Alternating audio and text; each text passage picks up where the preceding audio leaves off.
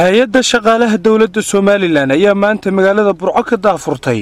Imtixaan ay u fadhiisteen in ka badan saddex boqol oo dhallinyarta aqoon-yahanka ee gobolka togdheera iyadoo laga xuli doono kontonka halmashaqo oo ka bannaanaaday laamaha dowladda ee somalilan. Guddoomiyaha hay'adda shaqaalaha dowladda somalilan sharmaarke geelle oo ku sugnaa jaamacadda burco oo lagu qaadayay imtixaankaasi ayaa sheegay in si cadaalada loo qaadi doono imtixaankani waxaana ka mid ah hadalladii guddoomiyaha waxaa saaka imtixaanka u fadhiya saddex boqol iyo sideed iyo labaatan qof oynu ka doonayno kontonka qof ee ugu sarreeya. Insha allah inta guulaysata waxay ka howlgelayaan xarumaha kala duwan ee gobolka togdheer oo shaqaale dowladeed u baahan inay ka shaqeeyaan.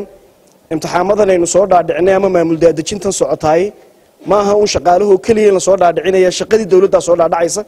Waxaa la doonayaa gobol walba inuu adeegii dowladnimada halkiisa ku helo si aanu ugu safrin caasimad ama meel kale ugu doonan saa darteed kontonka aqooyaanee maanta soo baxa.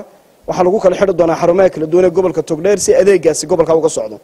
Sidoo kale macalimiintii kormeerkoogii baa socda iyo caafimaadka kormeerkiisa iyo haydii kala duwanaa ee hawshaa ku shaqalahaba iyaguna gacanta ku haya inay caafimaadka iyo waxbarashada soo saaraan imtixaamadii kale maamulka iyo sharciga iyo maaliyaddan imkaynu wadnaa. Dadka guulaysta waxay ka shaqayn doonaan dhowr iyo afartanka instituushane dowladdu leedahay wasaaradaha iyo hay'adaha madaxa bannaan waxaan idin rajaynayaa calaf iyo iyo qalin wanaagsan in imtixaamadu soo dhaadhacaan oo gobolkaaga kugu yimaadaan oo guriga agteeda ay soo gaadhaani. Waa runtii dadaal weyn oo aynu doonayna dowladnimadu inay saasoo kale u soo daadegto khayraadkeega deeqaheyga iyo shaqaalaynteeduba inay saasoo kale u soo dhaadhacdo. Inta tartamaysa waxaan u rajaynayaa calaf wanaagsan inta guulaysanaysa qalinka iyo dadaalka kasokow waa quud iyo qadar qoran oo ilaahay subxana watacala baa marka hore qoraya cidda guulaysata inaguna dadaalkiiyo asbaabtii baynu la imanaynaa waxaan inta qof bilaaadana ku dadaalo ku dadaalaynaa inaad dhexdiina cadaalad ku kala baxdaan nidaamaad ku kala baxdaan intii qalinkoogu soo saara ay noqoto inta ugu sarraysa annagoo ku kalsoon macalimiinta aanu wadanno oo runtii aanan islahayn dadkaa way kala garanayaan waxay ka kala leeyihiin haddana dana gaara.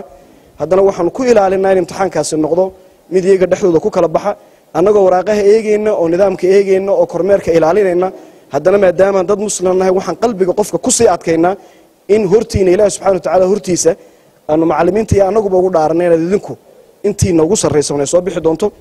Boqolkiiba soddon dadka guulaysanaya waxay noqon doonaan hablo. Boqolkiiba toddobaatanna waxay noqon doonaan wiilasha taasoo la macnaa boqolkiiba shan iyo soddon wiil iyo shan iyo toban gabdhood. Waxaan ku dadaali doonaa inaan deg u saxno natiijaduna horey u baxdo si inta hawshaa ku guulaysatay ay horey ugu soo guulaystaan oon haydihii kala duwanaa ee ku xidhnaayeen aynu aynu u gaadhsiino waxaan codsanaya ilahay mar labaad u ballan qaadnay inaynu dhammaanteen aynu aynu cadaalad taxanka ku qaadayno waxa igu wallaahiye waxa igu bilaahiye waxa igu tallaahiye inaan ardayda cadaalad ku kala saaro oo qalinkooga waxaan inaanan u eegin. Mahad cali goodir star t v burco